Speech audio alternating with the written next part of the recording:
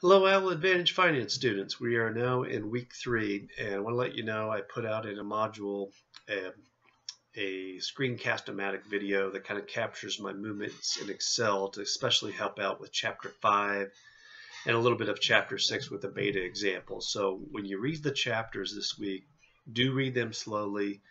Go back and look at the examples in the textbook. Make sure you understand everything. Uh, watch my video that I put out there uh, with the explanation of Excel, and that will help a lot with the Chapter 5.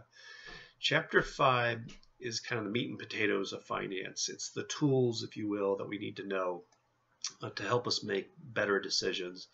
You know, whether I'm going to buy a new car or not, um, whether I'm going to eventually, we will start talking about net present value, internal rate of return, and all these things. We'll have some additional tools that we'll start to learn in the future, but you know, the, the five basic ones you're going to come down to are payment, number of periods, interest rate, future value, and present value. And as long as you know four out of those five values, you can solve for that fifth value. So a lot of this chapter goes through and works different examples and problems, and you'll have homework problems tied to these too. So highly encourage you to kind of watch the video out there in Excel, uh, especially if you haven't um, done some Excel, even if um, you do use Excel. I think it's just easiest to kind of do this work in Excel and upload your homework this way. Uh, but you're welcome to do it by paper too. Just make sure to show how you arrived at your answer when you do the homework problem. So, all right, uh, with that, the other part this week ties to chapter six. It deals with risk.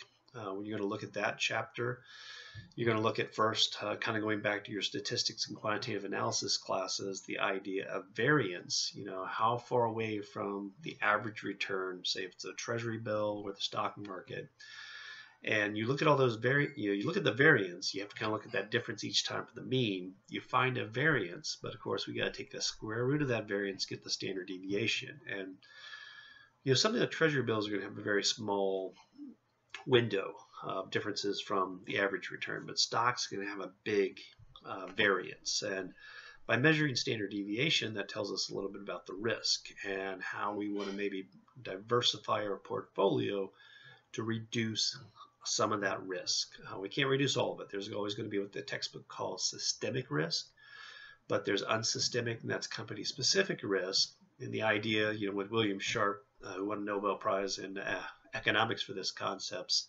he first introduced that maybe if you got 18 to 20 stocks in a portfolio, you could diversify The first, diversify away a lot of that company specific risk. Of course, they'd have to be different types of companies. You can't be in the same sector. But um, you just showed the importance, you know, of diversification. And then lastly, um, with beta, beta is a measurement of risk of your stock relative to the market. So if you're you have a beta 1.5, it says if the market goes up 10%, my stock on average goes up 1.5% in returns on price. And then if the market goes down 10%, then my stock goes down, you know, 15%. So if it's a beta 1, it does the exact same. It pretty much follows the market. So if you own any S&P 500 mutual funds in your retirement, all those dots on the line should exact in the linear regression line should follow exactly. You know, there's no rocket science to this. You just buying the stocks that are in the S&P 500. It's a great gig because you don't have to put any thought into it. I always thought it'd be great to have an S&P 500 management um, or manage that fund. Okay, but other types of funds, they try to beat the market and do better than the market. But most professionals even have a hard time beating the market in the long run. That's something we'll talk about later with the efficient market hypothesis. So. Uh, I put an example out there too in that um, other videos, so kind of walk through and kind of see how they calculated beta. Other than that, just keep plugging along in the forum discussions. You know, we get to week four, we're going to have our first test. Uh, we won't have any forum discussion that week. But otherwise, have a great week. If you have questions, uh, do email me, and I'll try to get back to you that day or the following day. Take care.